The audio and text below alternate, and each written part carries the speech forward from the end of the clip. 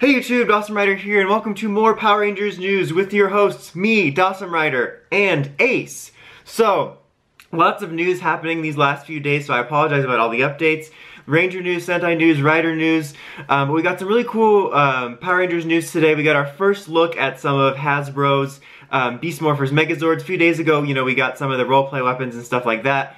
And I mentioned that they're probably going to save Megazords and Morphers and figures for Toy Fair this next weekend, which, you know, they probably are, and these will probably be there. But we got our first look at two of them. First up, Beast Morphers wise, we got a look at the Beast X Ultrazord. This is the formation um, of all the core Rangers, you know, red, blue, yellow, and then gold and silver. But the one they're showing off here is is not like the combining ones, you know, that's individual modes. It's one of those ones that stand alone. Um, and it's like you know has different sounds and stuff depending on what positions you put it in and whatnot and, and stuff like that.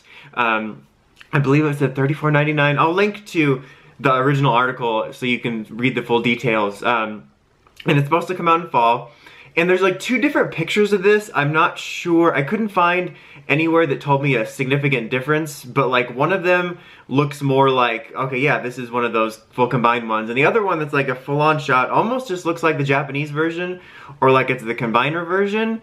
Um, it's kind of hard to get a read off of that one because his arms look so skinny, but the other one has like bulkier arms and like I feel like they're pretty clearly different pictures.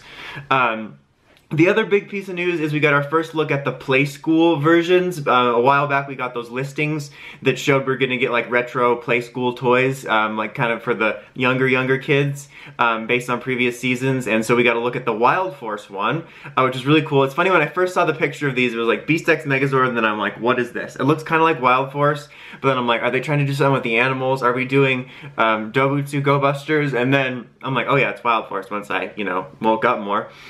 Um, but yeah, it's also, it's going to be $59.99, I believe, also releasing in fall. Um, and it's like one of those, it's two feet, it's like one of those playset ones. Think like, you know, the uh, Imaginext Megazord or the even the Lion Fortress Megazord where it's kind of like a playset, like it, it, can transform, which is actually kind of cool. Like it's like this one lion creature that's like an amalgam of all the Wild Force ones and then it transforms into its Megazord mode, and it has like different features like uh, some sounds, I think it's the sounds, was it, pop out sounds, well the lion head pops out and sounds, a place you can put the figure, um, one of those little jails, um, stuff like that. So if you're in any way familiar with uh, toys like that, where it's like a, a robot but also a place that like even if you didn't see or don't remember the Megazord one from uh, Imaginext, they do stuff like that with Batman and stuff, I believe. So that's basically what it is. So cool to get a look at this stuff. Um, the Beast X Ultrazord, or the, yeah, that's right, I thought I got the name wrong for a second. Uh, I think it looks fine, and you know, I wouldn't worry too much about not getting uh, the transforming ones, because again, this is a company that does Transformers, so, I mean, they're just gonna do these, you know, sound featured ones. Um, I think that the Playskool ones will be fun ones for kids. I I think it's really cool that the first one we're seeing, I don't know if they're gonna release more than one, obviously at this moment, but um, you know, I mean, right away. But I think it's really cool the first one we're seeing isn't MMPR, which kind of makes a degree of sense just because we did get a lot of stuff like that from MMPR. But I think it's kind of cool. I think Wild Force is a good choice because kids love animals. I mean, I love animals. Uh, I think it looks okay. I mean, this obviously isn't my main arena of like things that I'm mainly collecting for my collection, but I'll definitely check it out for reviews and stuff. Like, I think it's going to be kind of neat to see it. Um, what I do like about it, which I think is kind of fun, is that it transforms into just one Zord. Like, I don't know if they would do, you know, all the main Megazords in this $60 larger style, but if they have a similar idea like this for the Playskool line, I'm kind of curious to see what some of the Megazords would look like if, hey, what if you just transformed back into one creature? Like, I don't know, I thought that was kind of a neat idea. Um, but again, that's not my, you know, because this is for mainly for the littler kids, this one, but I think it's a, a neat idea for them.